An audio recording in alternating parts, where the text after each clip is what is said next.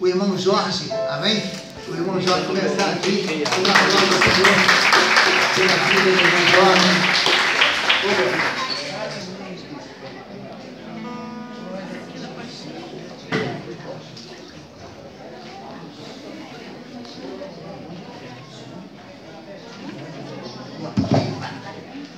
Foi. Amém. Aleluia. Dá um aplauso ao Senhor pela vida do irmão Jorge. Glória a Deus.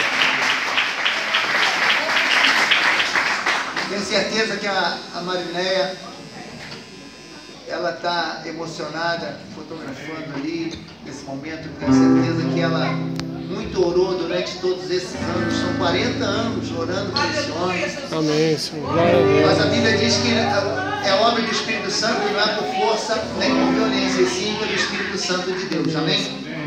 Não é, a gente não força, nem tão pouco Deus força. Jesus disse em Apocalipse 3,20: Eis que estou à porta e bato. Se alguém ouvir a minha voz e abrir a porta, eu entrarei, cearei com ele e ele comigo. Então, é o Espírito Santo.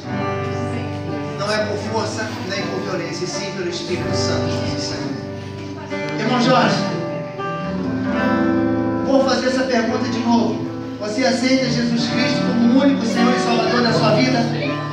Para viver na sua presença e morar no céu para toda a eternidade? Amém? Glória a Deus. Aceita? Ô glória, dê mais um aplauso ao Senhor.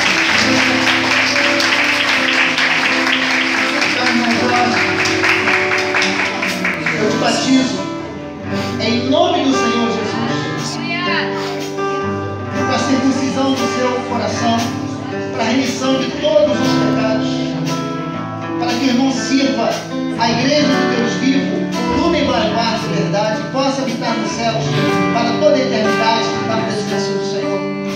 Eu te batizo